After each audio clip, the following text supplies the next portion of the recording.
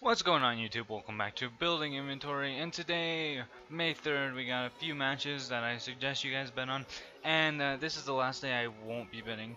I'm just trying to get a few more items and then I'll start building actually betting. But so first off I suggest betting on EnVyUs because of the fact that Fnatic does not have olofmeister and they've been playing really poorly. EnVyUs on the other hand has also been playing playing pretty poorly if you look at their recent games. However, in their best of three against FaZe, they won 2-0, and Fnatic struggled a little bit against FaZe, so I think EnVyUs will pull through there. I would suggest a low bet on EnVyUs.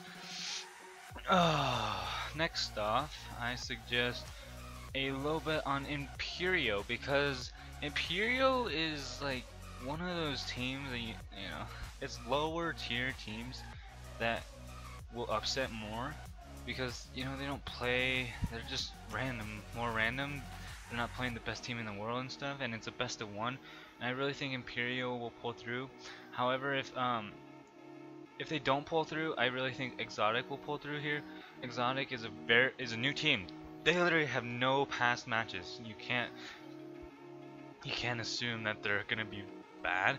That's the only reason they probably have low percentage. So they're a new team.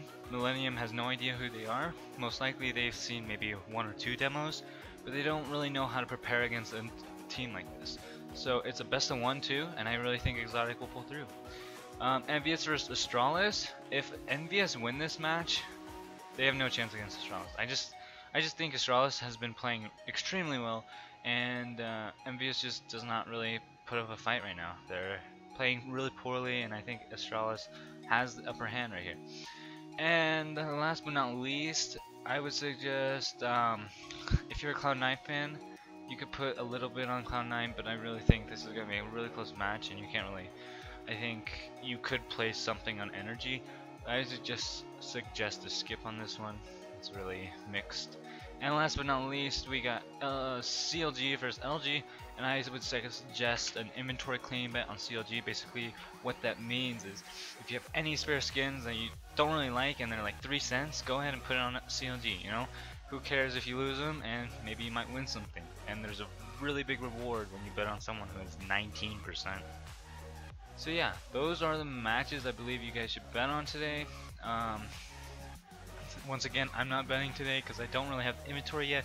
But next episode, you'll see me having about five $2 skins that I will be using for betting, and uh, it should go really well. So I hope you guys enjoy the video, and we'll see you next time. Peace, peace.